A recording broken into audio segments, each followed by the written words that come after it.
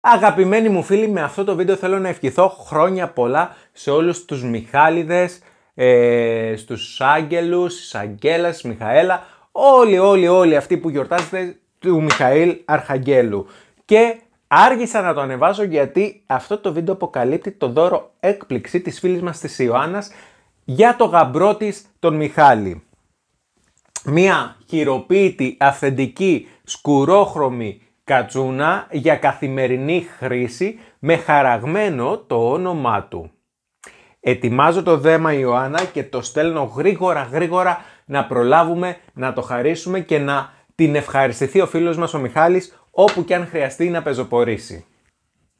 Μην ξεχνάτε κι εσείς ότι μπορείτε να επιλέξετε οποιαδήποτε κατσούνα θέλετε από πού αλλού, από το κατσούνες.gr, όπου υπάρχει η μεγαλύτερη ποικιλία χειροποίητων κριτικών μπαστούνιών.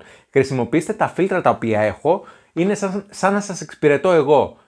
Ε, ε, μπορείτε να βάλετε εύρος τιμής, χρήση που τη χρειάζεστε, ε, κατηγορία ξύλου και από εκεί και πέρα όλα όσα θα σας δείχνει θα είναι όλο ένα, θα είστε όλο ένα και πιο κοντά στην επιλογή που είναι πιο κατάλληλη για εσάς. Κατσούνες.gr, στηριχτείτε πάνω τους και μην ξεχάσετε να κάνετε την εγγραφή σας στο κανάλι μας στο YouTube ή να μας ακολουθήσετε σε οποιοδήποτε άλλο κοινωνικό δίκτυο επιθυμείτε. Φεύγω, βιάζομαι τώρα γιατί ο Μιχάλης περιμένει με ανυπομονησία το δέμα του.